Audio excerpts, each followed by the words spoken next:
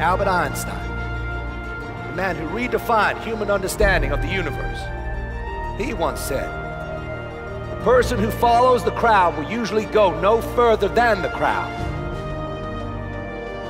The person who walks alone is likely to find himself in places no one has ever seen before. The unknown is out there, waiting to be discovered.